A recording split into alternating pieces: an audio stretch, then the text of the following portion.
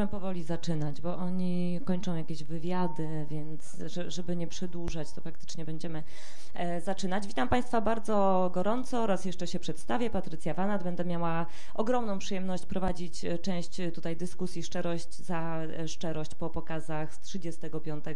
Festiwalu Młodzi i Film w Koszalinie. Bardzo gorąco witam naszych twórców. Daria Kopiec, Agata Chodyra, czyli pierwszy raz. Małgorzata Dobrowolska, moje miejsce. Piotr Gołębiowski, matka. No i czekamy na Paulinę i na Piotra, e, zaraz do nas dołączą, więc jeszcze, jeszcze raz ich powitamy. Ja mam taką e, refleksję po tym bloku, że on jest bardzo kobiecy nam się zrobił cały ten, e, ten blok, taki bardzo feministyczny w tym, w tym wydźwięku kobiecym, zwłaszcza, że ta dyskusja jest e, dość mocno aktualna, zwłaszcza po tym, co e, ostatnio się dzieje, po Marszu Godności w niedzielę i po, po wszystkich tematach, które ostatnio poruszamy, więc mam nadzieję, że będziemy mieć czas, żeby też trochę się do tego odnieść i trochę o tym porozmawiać. Oczywiście formuła naszych spotkań jest taka sama sama jak zawsze. Ja zadam kilka e, pytań naszym twórcom, tak żebyśmy ich poznali lepiej, żebyśmy opowiedzieli o tych e, produkcjach, no a później oczywiście głos oddamy Państwu, jeśli e, macie jakieś pytania, jeśli macie jakieś refleksje dotyczące tych, ty, tych filmów, to myślę, że jesteśmy ich bardzo ciekawi wszystkich. Więc zaczynając od tego pierwszego filmu, od filmu Pierwszy raz i z jednej strony no właśnie ten wątek kobiecy, ale z drugiej strony w ogóle wątek inicjacyjny, prawda, czyli ten pierwszy raz trochę e, ujęty e, szerzej, nie tylko właśnie kwestie aborcji, kwestie kobiet, więc jakbyście dziewczyny mogły zacząć w ogóle od, od tej inicjacji, od, tych, od tego pomysłu na pierwszy raz. Tutaj już proszę bardzo. Potrzebny jest mikrofon, tak? Chyba tak. Okej, okay, dobrze. Um, hmm to ja może od początku, bo tam mm, zawarło się kilka pytań w jednym. Ten film powstał, e, powstał, miał w ogóle takie bardzo dziwne powstanie, bo nie zaczęło się od tego, że ja chciałabym zrobić film o aborcji. E, zupełnie to nie było pretekstem do zrobienia filmu. To jest film szkolny, co więcej film Akademii Teatralnej, bo właśnie tam zrobiłam tak. ten film. I mieliśmy po prostu zadanie u profesora Macieja Wojtyszki i Grzegorza Kędzierskiego, żebyśmy pracowali, zrobili film w oparciu o tekst Michała Walczaka pierwszy raz. To jest tekst dramatu i kompletnie nie ma nic wspólnego z aborcją. To jest o pierwszym razie, o, o taka przewrotna historia, która się powtarza cały czas tak, w takich repetycjach jest ujęta, kiedy próbuje się spotkać chłopak z dziewczyną i po prostu przeżyć swój pierwszy raz. I ten tekst jest mocno teatralny, mieliśmy zrobić z tego po prostu etiudę filmową. No i ja się bardzo boksowałam z tym, jak po prostu z tego tekstu zrobić film, przenieść to na język filmu, a z racji tego, że mieliśmy dowolność, to miała być trampolina do, do zrobienia czegoś, to, to nie chciałam się oprzeć tylko i wyłącznie na literze tekstu, a tak naprawdę na, na narzędziach filmowych, więc e, została dwójka bohaterów, on i ona. Karol i Magda to są też y, bohaterowie tego tekstu dramatycznego. Y, został tytuł pierwszy raz jako inicjacji, a wszystko inne jest kompletnie przewrotne na kontrze. Ja się ciągle odbijałam od tekstu. Tam było bardzo dużo tekstu. Y, jak kręciliśmy materiały, to dużo tekstu po prostu wyleciało, ale odbijaliśmy się cały czas od litery tekstu, cały czas w jakiś sposób będąc z nim w dialogu. Więc ten pomysł na to, czym mógłby być ten pierwszy raz, powstał w zderzeniu z tekstem, który zupełnie nie mówi mówił o takim, to, o takim temacie. A tam był temat, tam był temat dziecka i temat, czy to dziecko w śnie, czy ono, czy chce, czy ta dziewczyna go chce, czy ten chłopak go chce, że oni się go boją. Więc to wszystko jest ściągnięte y, z oryginału, ale kompletnie przetworzone y, przeze mnie y, szukając tak naprawdę tematu, e, który, który mnie osobiście gdzieś tam zainteresuje i z którym będę chciała się zmierzyć jako twórca. To w którym momencie pojawił się temat aborcji? No bo aborcja jako pierwszy raz to faktycznie takie, e, no, taka mocna rzecz, mm. jeśli myślimy o pierwszym razie. E, pomysł pojawił się na samym początku, a mianowicie ja się skupiłam na tym wątku właśnie e, w scenariuszu, gdzie w tym dramacie, gdzie była ta myśl o tym dziecku i co by było, gdyby było to dziecko. I e, jakby w trakcie pracy nad scenariuszem yy, jakby cały czas ten, ten wątek gdzieś tam był, był bardzo silny, aż do tego jakby samo, jakby sam scenariusz, sama litera tekstu mnie doprowadziła. Czy ten film jest bardzo oparty na emocjach, no ty powiedziałaś, że tam dużo tekstu po prostu wyleciało z tego e, dramatu. W filmie tych dialogów nie jest za dużo. No, te emocje budowane są zupełnie w inny e, sposób. Jakbyś mogła trochę powiedzieć o tym właśnie budowaniu e, dramaturgii w tym filmie.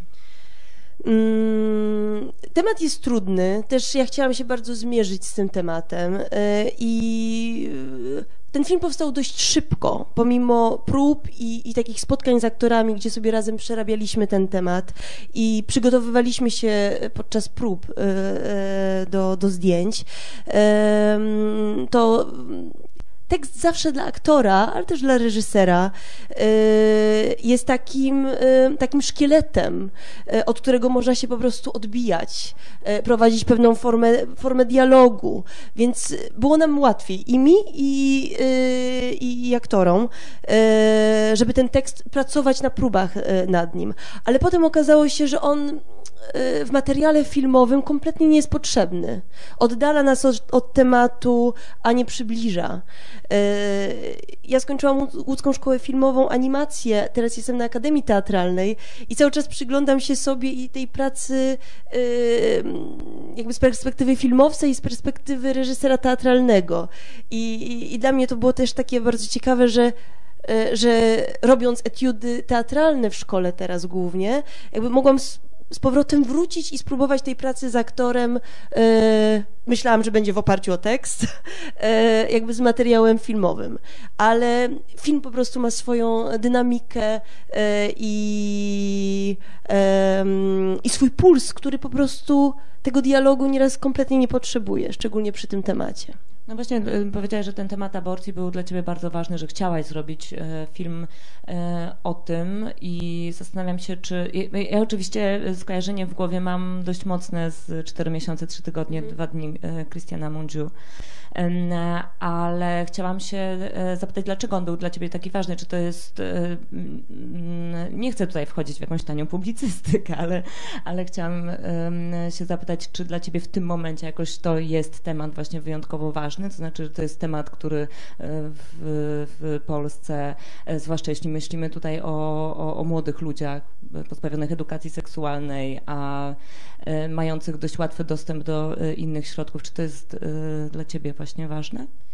Mm, oczywiście, że tak. No, jak najbardziej. To jest temat, który, który bardzo mocno pulsuje aktualnie, więc, y, więc y, trzeba o nim mówić. Po prostu trzeba o nim mówić. Ale to, co było dla mnie najważniejsze i punktem wyjścia do tego, by ten film zrealizować, to, to myślałam bardziej od strony ludzkiej, a mianowicie poprzyglądać się bohaterom, jak oni będą sobie radzić. I dla mnie głównym bohaterem i ciekawszą postacią jest chłopak a mianowicie y, jego bezradność i trud y, y, po prostu bycia blisko jakby tej sytuacji jest, jest jeszcze bardziej, jest mniej komfortowy niż dziewczyna, bo ona przynajmniej, to, to straszne, ale przynajmniej odczuwa to wszystko fizycznie, jakby, jakby to wszystko jest połączone, psychiczne i fizyczne, a on po prostu cokolwiek chce zrobić jest źle. Jakby można być i towarzyszyć, ale nie można być zbyt blisko, nie można tego przeżyć za kogoś. Więc dla mnie takim motorem y, i też, też dla reżysera było y, ciekawe, mm, jak przedstawić bohaterów, żeby z nimi być i, jak, i dotknąć chociaż troszeczkę jakiejś prawdy, y, jak, jak oni mogą to przeżywać, pokazać bezradność, bezradność obojętnie ile się ma lat. Tutaj są młodzi ludzie, e, jakby sytuacje zdarzają się w różnym wieku. To jest sytuacja, przy, przy której jesteśmy za każdym razem bezradni. A, a, a, czemu taki finał jeszcze, jeśli mówimy o tym chłopaku, bo on dostaje po głowie już po prostu zupełnie e, na, na, na samym e, końcu. Po, po co była ci potrzebna taka, taka właśnie mocna kropka na, na, na koniec? Mm.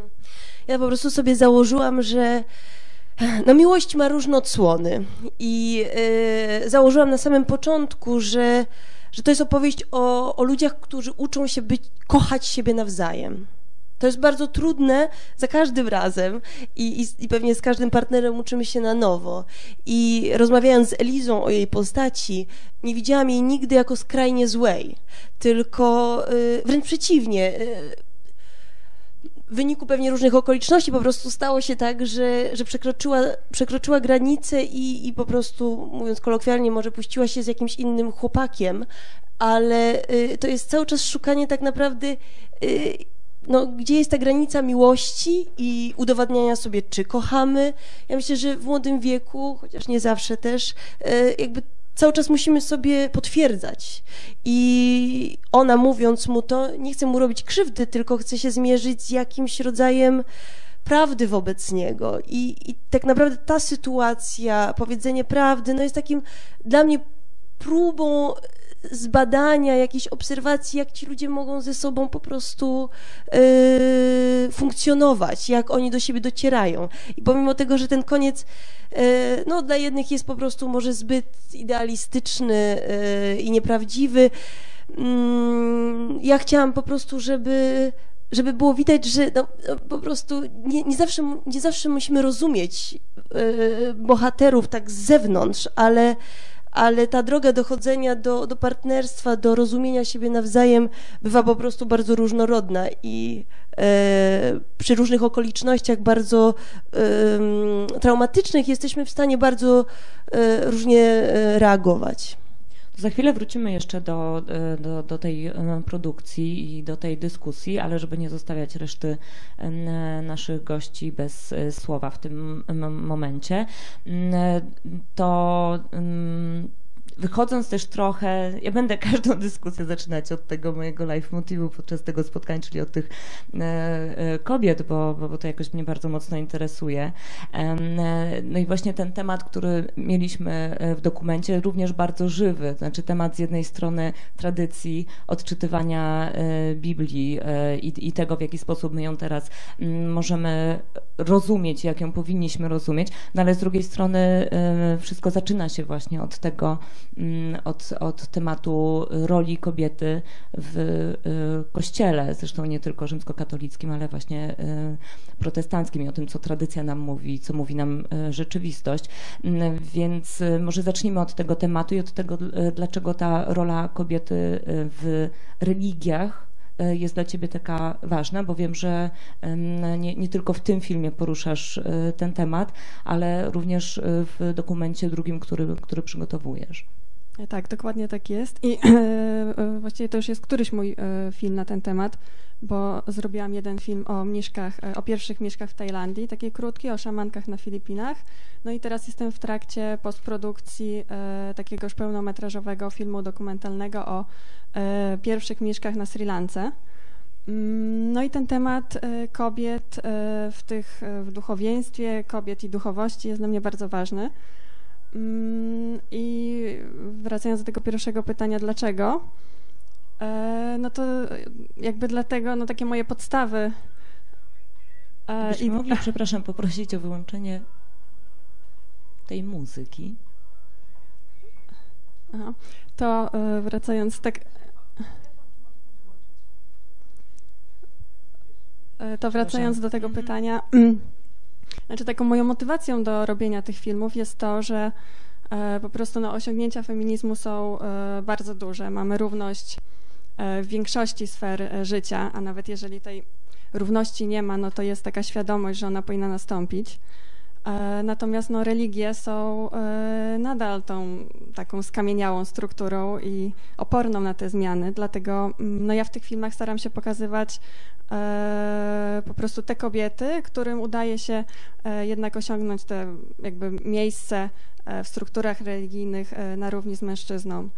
I, bo to się dzieje teraz, no na przykład w buddyzmie Theravady, to jest najstarsza buddyjska szkoła, bardzo patriarchalna, no kobiety zostają mniszkami, mm, czy tutaj w, w tym kościele protestanckim.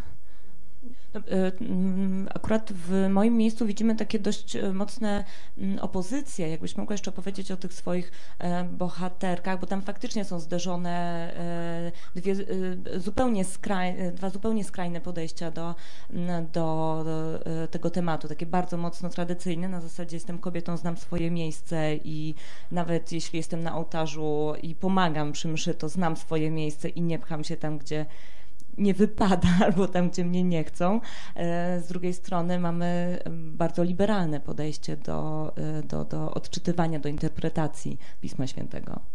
Mhm, no tak jest. E, ja dokładnie na panią Halinę trafiłam w ten sposób, że tak naprawdę szukałam w Polsce kobiety, która chciałaby zostać księdzem, E, I jak gdyby zostałam pokierowana do pani Haliny, natomiast okazało się, że jakby pani Halina faktycznie jest bardzo zaangażowana e, w to życie kościoła, ale już tak zinternalizowała te nauki, że mimo tego, że jak zaczynała, to miała te ambicje bardzo wysokie, bo jakby tak, takie informacje dostałam od córki, natomiast no, zinternalizowała te nauki e, kościoła i jak gdyby, tak jak używając jej słów, no, uważa, że jej miejsce jest mm, na jakby takiej... Z boku. Z boku, tak, tak, z boku. E, natomiast e, pastorka, którą jak gdyby poznałam w Oslo, no jakby też y, jest pastorką dzięki temu, że kobiety przed nią, e, to w Norwegii wydarzyło się w 1930 roku, jak gdyby wywalczyły sobie to prawo do bycia pastorkami i ona też mówi o tym w filmie, że e, to jest wszystko dzięki e, tym kobietom przed nią. No i teraz widzimy tak naprawdę szczęśliwą kobietę, która się w tym realizuje. Wyobraź sobie spotkanie ich dwóch? Tak, bo e, ogólnie pani Halina była bardzo zainteresowana właśnie tą pastorką, zadawała mi bardzo wiele pytań. E, nie mogła się nadziwić, dlaczego ona jednak uznała, że jej miejsce jest e, tak, jakby na równi z mężczyznami, ale poleciłam też pani Halinie parę książek, jak na przykład Kościół Kobiet, w którym są opisane starania kobiet na drodze do jakby sprawowania tych funkcji. Tak, teraz jeszcze wyszła ciekawa książka Zakonnice odchodzą po cichu. E, także dzieją się takie rzeczy teraz, no i to jest bardzo ciekawe. Mm, za chwilę wrócimy jeszcze do y, rozmowy. Y, Piotr i matka. I znowu zacznę od kobiet. Opowiada rzeczywiście y, o, o wojnie, o historii opartej na faktach i do tego za chwilę wrócimy, ale jednak film również nazwałeś Matka, co jednak stawia tę, tę postać matki w tym filmie na, na pierwszym miejscu. Dlaczego? No, przede wszystkim można by powiedzieć, że Leon Kruczkowski zakosił nam dobry tytuł, bo Niemcy, tak, i można byłoby próbować ten film nazwać Niemcy e, lub Czesław, lub Dom, lub jakkolwiek inaczej. Natomiast e, ja tak naprawdę nigdy nie myślałem o tym, żeby, żeby pójść w tą stronę. Decyzja była od samego początku, e, żeby ten film nosił taki tytuł. Bo tak naprawdę, pomimo tego, że, e, że my opowiadamy historię pewnej rodziny, historię pewnych ludzi, to tak mi się wydaje, ale to niech już każdy z Państwa sobie sam to oceni. Ja zresztą też nie lubię w kinie, jak ktoś mi, jak mam prostą historię, i, znaczy może nasza akurat jest prosta historia, natomiast nie lubię, jak mi w filmie twórcy dają kawę na ławę, ponieważ E, no wolę sam sobie pewne rzeczy dopowiedzieć, zastanowić się. E, I tak naprawdę nasz film jest o kobiecie i ponieważ sceną kulminacyjną w naszym filmie jest scena, w której Otylia mm, schodzi e, do kuchni. W pewnym momencie widzi, bo rozmawiałem o tym ze swoim małżonkiem Czesławem, że boi się o to, że straci męża, ponieważ Niemcy no, urządzają opanki.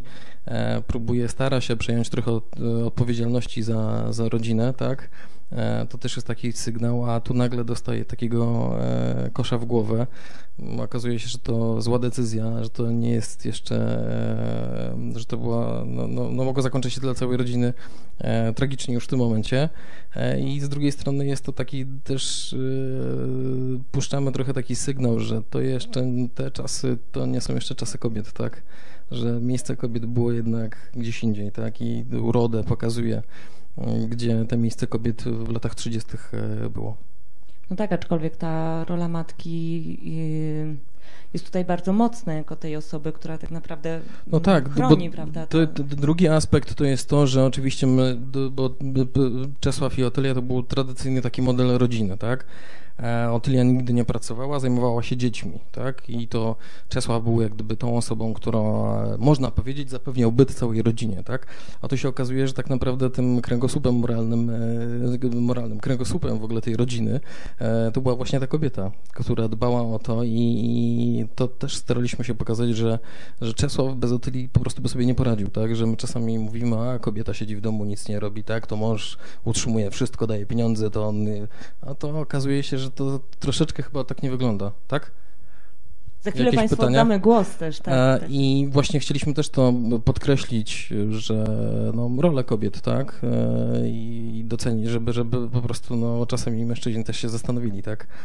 No ja myślę, że w ogóle temat kobiet w czasie wojny jest dość mocno jeszcze nie, takim niewyeksploatowanym no, ja, tematem. Ja, ja, właśnie jeszcze to podkreślę, że my często, e, to zresztą też taka była idea powstania tego filmu, że e, jak jest film historyczny, to zazwyczaj są partyzanci, mężczyźni, strzelają, są mocni, tak, i albo im się na końcu filmu udaje coś zrobić, albo nie. A gdzieś ta ludność cywilna, kobiety, to, że zajmowały się, że w takich warunkach musiały wyżywić dzieci, tak, no to nie za bardzo kogoś interesuje, bo to nie jest może tak sexy. Dlaczego ciebie to interesuje? E, a zainteresowała mnie historia, ponieważ jest to historia rodzinna, tak, więc historia mojej babci i jej siostry, bo to Terenia i Jania to, to moja rodzina, więc no tak jak pomyślałem o szorcie, o krótkim metrażu, to stwierdziłem, że chyba jest coś, co można by pokazać. Czym no chciałbym opowiedzieć, pokazać tą historię, bo myślę, że, że, że warto, że poznać też trochę e, wojnę od trochę innej strony, tak? I, I spojrzeć na nią, zastanowić się nad pewnymi rzeczami, które może teraz są aktualne, E, bo nam też tak e, mimowolnie wyszła też jeszcze taka jedna rzecz, bo to w filmie pokazujemy, że byli Niemcy, bo Niemcy wiadomo źli, tak, dobry Niemiec, e, szpiler, który ratuje rodzinę, ale później przychodzą, e, później przychodzą Rosjanie. Rosjanie, czyli jest, nie powiem, że, e, że no lepiej, tak, lepiej do 89 roku, ale no tak, Proszę Państwa, y, pytania z sali, opinie, komentarze. Hmm, zobaczymy, sprawdźmy, czy to się uda. Nie, A, bo machałyście. A, tak, jak już podeszłam. Tak. Ja bym tutaj do tego pierwszego filmu przede wszystkim to chciałbym zadać y, pytanie, po co taki film? Nie? Ale y, spokojnie. I dla mnie, y, no, ci partnerzy, że tak powiem, to nie są pierwszoplanową po prostu osobą. Mimo, mimo wszystko moje zdanie jest takie, że tutaj niezależnie od tego, co się stało z tym dzieckiem, bo ono zostało zabite, to się nie nazywa aborcja, tylko zostało zabite, to jednak bohaterem jest dziecko. Mhm. Dziękuję. Mhm. E, no, film myślę, że jest y, ważny o tyle, że nawet y, wzbudza pewną dyskusję i sprawia, że no, robi się, robi się film po to, żeby, żeby pewien temat, temat, który jest, który nagle wychodzi poza, no, ale znaczy dziecko temat, też jest który tematem. istnieje, no, który, który... Jakby aborcja, aborcja jest dokonywana, jest, jest głośnym tematem, y, jakby robi się ją legalnie i nielegalnie, w Polsce robi się nielegalnie i jest to temat, który jest bardzo E, aktualnie no, tematem, który, który się wydarza, więc y, mamy go chować, nie wiem, pod dywan? Chyba też nie o to chodzi. Tak się zdarza. Takie historie się zdarzają.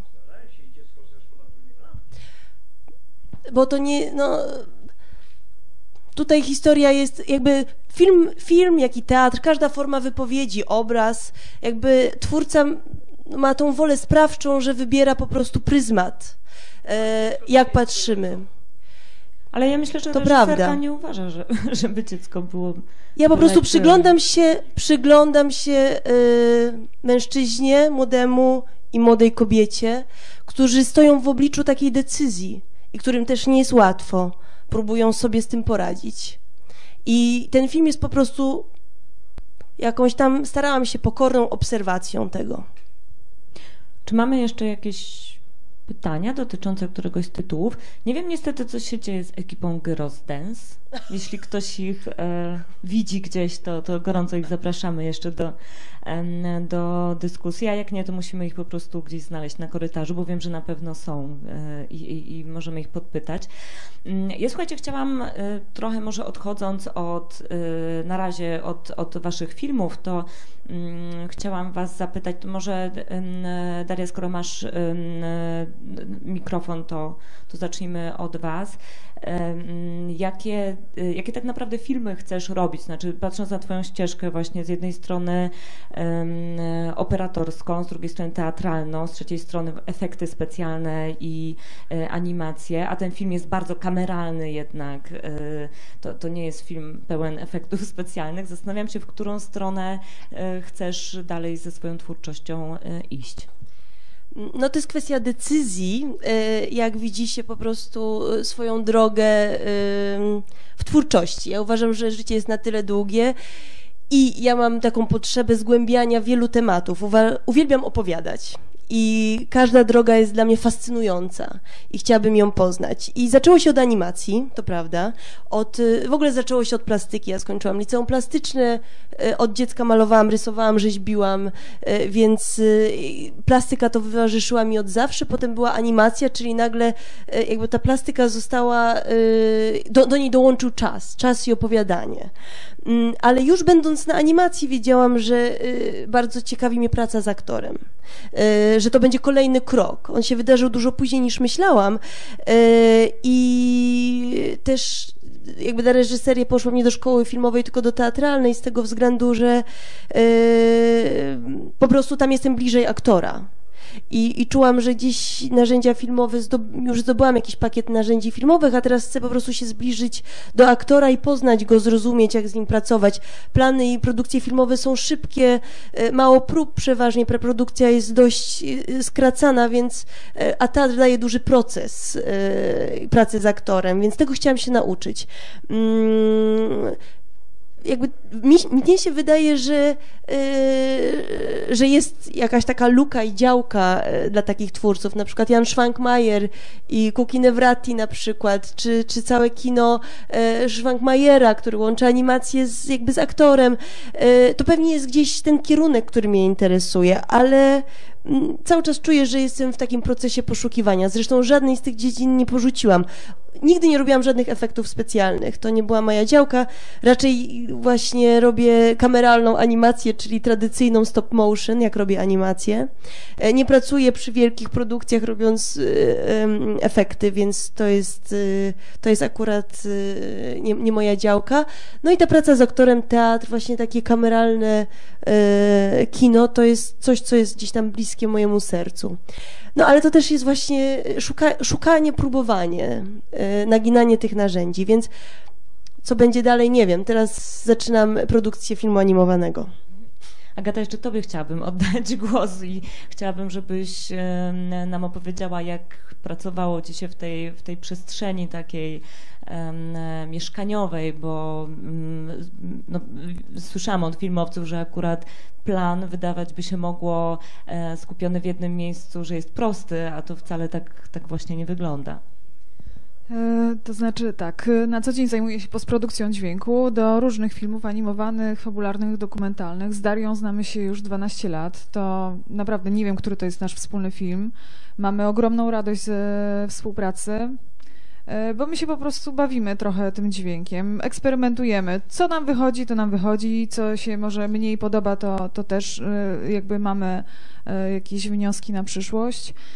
Ten film przede wszystkim opowiadał o emocjach i moim zadaniem było w tym dość prostym obrazie, który no właśnie jest pozbawiony jakichś efektów wizualnych, nie wiem, jakichś rozostrzeń, nadmiernych sztuczek operatorskich, pokazać coś za pomocą tak zwanego sound designu, czyli wykreowanych dźwięków niemuzycznych albo muzyczno-podobnych, uczucia bohaterów. Przede wszystkim też, tak jak e, Daria powiedziała, skupiałam się na chłopaku, na jego e, obserwacji tej kobiety, więc zastanawiałyśmy się w czasie postprodukcji, jakie myśli mogą mu przebiegać przez głowę, że na przykład on wspomina, kiedy się kochali, albo kiedy e, ona była wesołą dziewczyną, a nie dziewczyną w tym momencie w jakimś krytycznym punkcie, która podejmuje krytyczną decyzję, bo jeszcze do Pana, nawiążę do Pana pytania, ten film moim zdaniem nie bagatelizuje tego tematu, wręcz przeciwnie, e, pokazuje dla mnie, a jestem podwójną matką, jak dramatyczna to musi być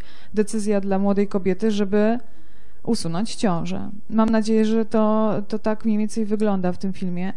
Czy inna myśl chłopaka, co by było, gdyby to jednak dziecko się narodziło, kiedy już proces e, usuwania ciąży jest na tyle zaawansowany, że już dziewczyna krwawi i to poronienie jakby trwa, no to starałam się dźwiękami opowiedzieć, że mogłoby być inaczej, tak, że jest jakaś tam ścieżka, ale oczywiście to są wszystko takie bardzo e, drobne rzeczy, które coś mają sugerować widzom, bo dźwięk tak e, wprost jeden do jednego nigdy nie działa, więc starałyśmy się to pokazać subtelnie. No i taką zmyłkę dźwiękową zrobiłyśmy, czy on wezwał jednak karetkę, czy nie. Czy to jest karetka za okna, czy, czy ona jedzie właśnie po nią, bo wiadomo, że gdyby wezwali pogotowie, mieliby straszne kłopoty. No i taka zabawa po prostu dźwiękami. W tym trudnym bardzo temacie jednak starałyśmy się jeszcze coś artystycznego dodać od siebie. Gosia, Ciebie też zapytam o to, bo Ty nam już powiedziałaś trochę o tym, co Cię interesuje i nad czym teraz e, pracujesz, ale chciałabym trochę więcej od Ciebie usłyszeć na, e, no właśnie na ten temat, na, e, na temat, jakie filmy chcesz robić, zwłaszcza, że to też była własna produkcja, prawda? To był, to był film, który zrobiłaś zupełnie własnymi środkami. E, czy chcesz, żeby to tak dalej wyglądało, że właśnie bierzesz się za temat, który faktycznie jest tam gdzieś e, głęboko cię dotyka e, i, i robisz to po prostu po swojemu? Znaczy tak, no na pewno chcę dalej realizować ten temat, czyli kobiet i duchowości. No i teraz jestem w trakcie postprodukcji tego filmu o mniszkach. Na to udało mi się dostać pieniądze od buddyjskiej fundacji. E, no, nie jest to jakaś duża kwota, ale na tyle duża, że jakby mogę spokojnie teraz nad tym pracować. Mm, aplikowałam też do Munka e, o, jakby z, z filmem dokumentalnym również o mniszkach, bo chciałabym ten temat dalej pociągnąć. E, bo ten, który robię, to będzie taka tak naprawdę pigułka informacji, bo jest e, on jakby finansowany przez buddyjską e, fundację, także im na tym zależy. No i mi też na tym zależy, żeby przekazać te informacje, ale chciałabym też zrobić taki film, który już pokazuje jak gdyby portret takiej jednej mniszki i tutaj myślę o takiej mniszce, właśnie pierwszej mniszce z Bangladeszu, która jest jakby podwójnie dyskryminowana, bo jest dyskryminowana jako kobieta, w społeczności buddyjskiej oraz e, jako e, buddystka w, w, kraju islamskim. Także to mi się wydaje bardzo ciekawe, zwłaszcza, że ona jest też bohaterką tego filmu, który teraz robię, więc ją poznałam. Jest chętna na to, żeby dalej współpracować. No i jak mi opowiadała, jakie ma perypetie, to, to, to jest szalenie ciekawe. Oprócz tego jestem teraz w trakcie zdjęć e, do e, takiego kolejnego filmu o dwóch moich koleżankach, e, które są razem i które robią bardzo dużo rzeczy, od teatru przez filmy, po y, różne organizacje festiwali, a ich głównym celem jest wspieranie kultury lesbijskiej e, i wzmacnianie też innych dziewczyn, które produkują i co ciekawe też właściwie wszystko robią dla idei i właściwie bez pieniędzy. E, także to jest super. No i zaczęłyśmy zdjęcia jakiś czas temu już Mamy pa, parę jakby dni filmowych, e, dni, dni zdjęciowych za sobą, no ale chciałabym też na to uzyskać pieniądze, jak już będę mieć więcej materiału filmowego. Właśnie, bo ja tak ciągle, y, bo to jest fajne, jak ktoś coś tak. robi dla idei, ja bym bardziej chciała, żeby się znalazły pieniądze po prostu na ruchy LGBT filmowe. Tak, tak, tak, no i y, one teraz też robią film, właśnie El Poetki, on niedługo już wejdzie do kin, także e, do kin, e, nie wiem, czy wejdzie do tych mainstreamowych kin, raczej nie, ale warto śledzić i polubić też na Facebooku, to bardzo ciekawy film, a też mało jest takich filmów i dlatego też ja robię film e, o nich, e, bo to mi się wydaje na bardzo wielu e, jakby obszarach ciekawe, bo raz pokazanie lesbijskiej kultury tutaj w Polsce, co się dzieje, bo tak naprawdę dzieje się bardzo dużo, ale kompletnie to nie przechodzi do tego głównego nurtu, a dzieją się rzeczy bardzo ciekawe. No i też pokazanie jakby takiej pracy, też walki z tym systemem, gdzie próbują zdobyć pieniądze, to zajmuje tyle czasu, że czasem z tego rezygnują i wolą już zrobić coś bez budżetu. E, tak, wydaje mi się, że to może być taki tak naprawdę mój e, naj, taki najbardziej osobisty film, bo jak robiłam film o mniszkach, to wiadomo, to nie jest moja kultura, a jakby jechałam gdzieś daleko, mm, więc a tu będzie zupełnie co innego. No i e, też chciałabym zrobić film o, o naszej jakby słowiańskiej tradycji, o naszym rodzimowierstwie słowiańskim, które zostało wyparte przez chrześcijaństwo i tutaj poszukać w tych klimatach. E, tak, to kolejny plan. Także tak naprawdę tych filmów związanych e, jakby z kobietami, z feminizmem, z duchowością jest, e, jest właściwie nieskończenie wiele i tyle mam tych pomysłów, że jakby trudno mi nadążyć z ich realizacją. Ja bardzo się cieszę, że właśnie na, na początek festiwalu Młodzi Film dostajemy filmy, które e, już poruszają zupełnie inne tematy, jakby przestajemy po prostu rozmawiać chociażby o pułapkach transformacji, czy po prostu e, biednych blokowiskach i tak dalej, i tak dalej, tylko mam wrażenie, że do tego dyskursu wchodzą e, kolejne i, i, i takie, które są już faktycznie bardzo bardziej uniwersalne. Znaczy mam wrażenie, że zaczyna, zaczynają nam się właśnie otwierać w głowie inne e, furtki, zaczynamy mówić o innych tematach. Macie też takie poczucie, jak rozmawiacie ze swoimi znajomymi na e, szkołach filmowych? Mm, znaczy ja e, byłam na wielu kursach filmowych I jak mówiłam o moich tematach, no to one budziły mm, takie dość duże zainteresowanie, emocje i też zdziwienie. E, tak mogę powiedzieć. Niekoniecznie zrozumienie. Mm, dołączyła do nas e, ekipa Gyros Dance, Piotr i Paulina. Możemy jeszcze powitać Was brawami małymi chociaż. I za chwilę, za chwilę powiemy e, o tym filmie, tylko jeszcze e, Piotrowi e, chciałam oddać głos i zapytać Ciebie o te plany i o to, jakie filmy chcesz robić. Wiem, że jest w przygotowaniach pełnometrażowy już film, thriller też, mocne kino związane z Twoim drugim kierunkiem studiów czyli adwokat. O, to znaczy, fajnie, ja chciałbym robić takie filmy, które, które chciałaby oglądać publiczność. Oczywiście ciężko e, w to trafić, ale wydaje mi się, że żeby nie robić filmów dla siebie i to jest myślę taki główny cel, który mi przyświeca temu w ogóle, żeby dlaczego zająłem się filmem. Myślę, że tych historii, które codziennie, nie wiem, to Krzysztof Krause chyba kiedyś powiedział, że on jak kupuje gazetę codziennie, to widzi tam historię na film i to jest prawda i e, to nie tylko można kupić sobie gazetę, to można przejść się tutaj już ulicą Koszalina i jest temat na film, tak? Tylko e, no czasami wiadomo, jest, y, no trzeba sobie jakoś wymyśleć, tak? Po to jest kino właśnie, to jest fabryka fantazji, tak? I wydaje mi się, że chciałbym, chciałbym w, w swoim kolejnym filmie, mam nadzieję, że uda się go e, zrobić i zadebiutować i być może w przyszłości kiedyś pokazać jeszcze w Koszalinie jako debiut pełnometrażowy, to myślę, że pozostaniemy raczej w temacie kina takiego w nurcie właśnie dramatu z elementami thrillera, tak, który gdzieś tam trzyma w napięciu i gdzieś znowu staramy się zajrzeć y, do głowy, tak. Bo Matka jest produkcją własną, to też może e, Państwu powiemy teraz, że, że zrealizowaliście go sami. Tak, y, Matka jest produkcją typowo niezależną, i czyli sami zebraliśmy pieniądze i sami wyprodukowaliśmy sobie film. I mówię szczerze, mówiąc szczerze, jest to najfajniejszy sposób produkcji filmowej, ponieważ jest to ogromna niezależność. To, co robimy na planie, zależy tylko od nas. Nikt nam nie mówi, nie mamy na celu jakiegoś producenta, który nam mówi, a to w filmie się nie znajdzie, proszę tak nie robić, ma zagrać ten aktor, nie damy pieniędzy.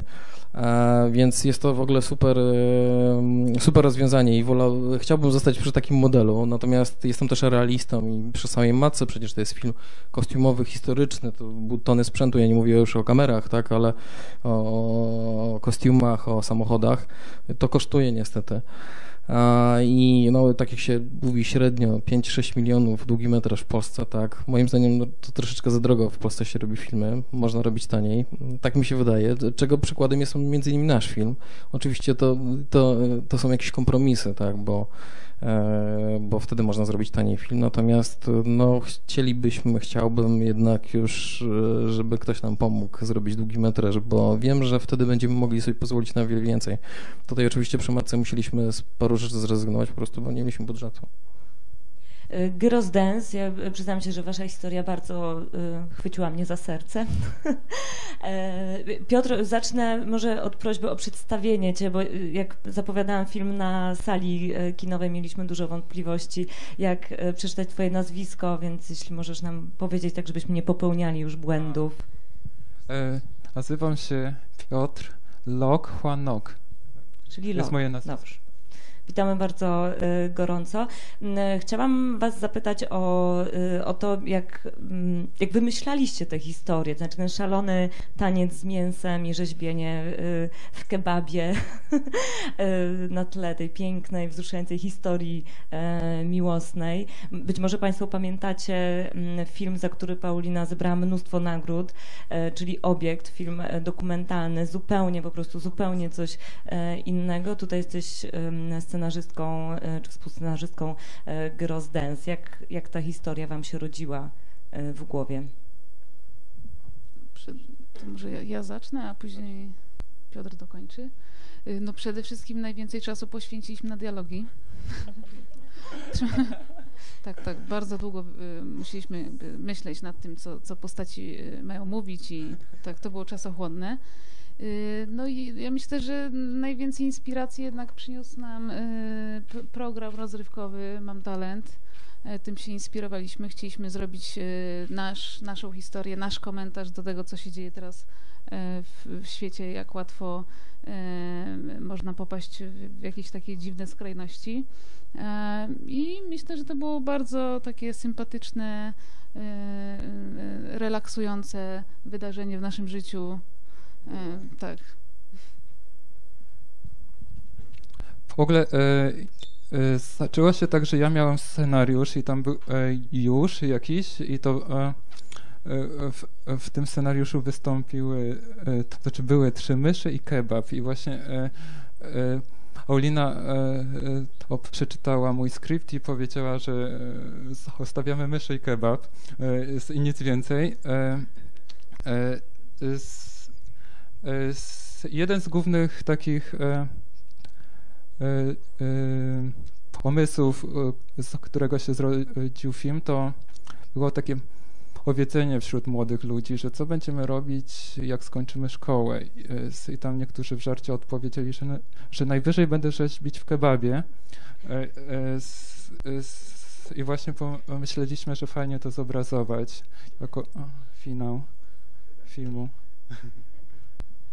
ta y, historia y, miłosna, piękna i taki, taki temat stary jak świat, czyli ona chce tutaj y, fleszy, sławy i generalnie nie, nie, nie do końca docenia miłość tego oddanego, uroczego człowieka. Tak, oczywiście emocje były najważniejsze dla nas. No, posłużyliśmy się tutaj właśnie po prostu klasycznym tematem miłości i tylko, że troszkę z innej perspektywy opowiedzieliśmy tą historię. E, no, ale myślę, że jest ona czytelna dla wszystkich, e, więc e, mam nadzieję, że widzom się spodobał film. Na pewno zainteresował temat który teraz występuje często w telewizji i w internecie, że każdy chce być gwiazdą, że właśnie e, e, e, są programy, w których przychodzą ludzie którzy sobie wyobrażają siebie, że mogą być właśnie jak, jak jak gwiazdy tam z MTV, jak Beyoncé i tam e, Justin. Znani, że są znani. E, I, e, I potem się okazuje, że ci ludzie najwyżej są gwiazdami YouTube'a, że właśnie mają dużo wyświetleń nie dlatego, że e, są utalentowani, tylko że są śmieszni. I to był jeden temat. W sumie nie chcieliśmy super ośmieszać naszych bohaterów, tylko to była podstawa do tego, że o, że jest teraz różnica między światem zachodnim a wschodnim, że, e, że jakby chcieliśmy pokazać, że najważniejsza jest taka spontaniczność jednak e, niż, niż to, co na scenie. Jeszcze ważne jest chyba to, w jaki sposób robiliśmy dokumentację, bo spędziliśmy bardzo dużo godzin przed YouTube'em. I Dobrze w kebabie.